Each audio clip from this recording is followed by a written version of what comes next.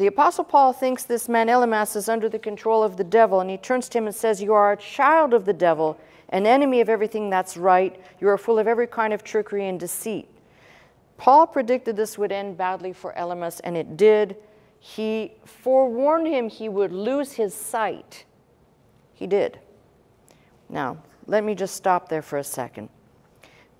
Paul says, You're a child of the devil, an enemy of everything that's right.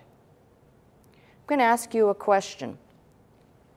Are you afraid to say that to somebody who is blatantly doing evil? Because I'm not. He says, You're an enemy of everything that is right. Now, you tell me, I'm not saying that we're living as Puritans here, but you tell me if you can with good conscience look at the news cycle today, this day, isolate one day, and tell me that what you are exposed to is not basically the enemy of everything that is right, because that's what you're being exposed to. And people say, well, how could every outlet be evil? They're not. They're given the talking points and they all have to say the same talking points. I don't care what station you listen to, you're going to hear the same words repeated in different places. You think you watch your local TV station, Channel 7.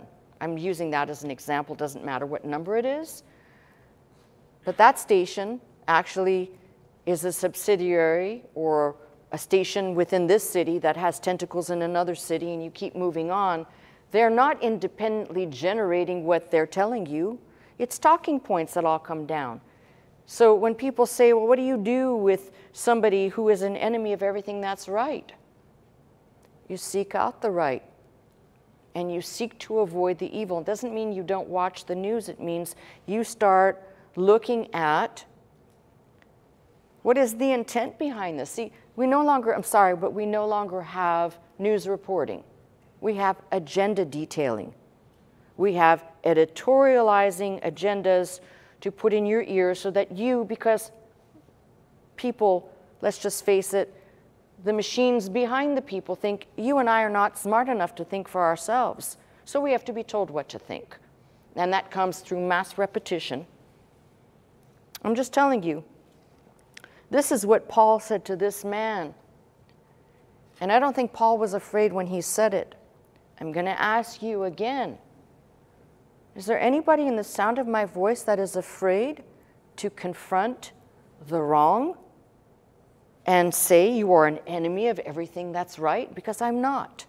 No, there was a time when I said, be, be diplomatic. But I think that chapter is over. There is no diplomacy. You cannot reason with the devil. You cannot reason with evil spirits or evil forces. So you have one choice stand on what is right. And don't get into this, well, how do I know what's right? If you have to have that conversation, you shouldn't even be listening to me. I'm sorry, just going to say that. Come